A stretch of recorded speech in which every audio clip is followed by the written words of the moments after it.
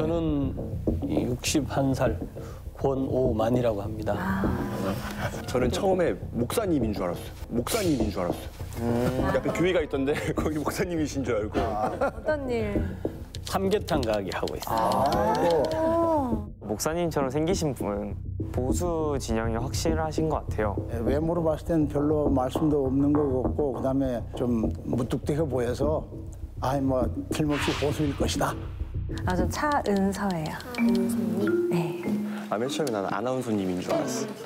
센 이미지가 너무 강했어요. 보수에 뭔가 가까운 그런 관상적으로. 올해로 우리 나이로 74입니다.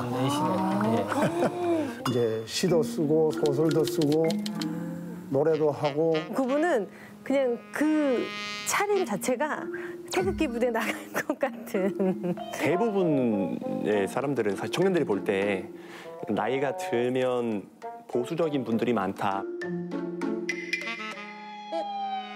저는 22살 김예슬이라고 합니다. 아, 이름 좋네. 네. 어, 현재 취업 준비생입니다. 인생이. 네. 피부가 틀려. 스물둘이라고 그래서 아 진보가 가깝겠다. 그렇지만 너도 사회생활 해봐. 보수로 바뀔 거야. 이제 젊은 사람들은 조금 진보적일 거다라는 편견을 깰 수 있는 그런 인물들을 심어놓지 않았을까 하는 마음에서 그분은 일단 보수 진영이신 것 같습니다. 그러면 다음 질문 드립니다. 당신의 종교를 말해주세요. 나 들켰잖아. 네. 이름에서 이미. 저도 개신교 전 무교예요. 아무 생각이 없는 무교. 잘 어울리세요. 잘 어울린다.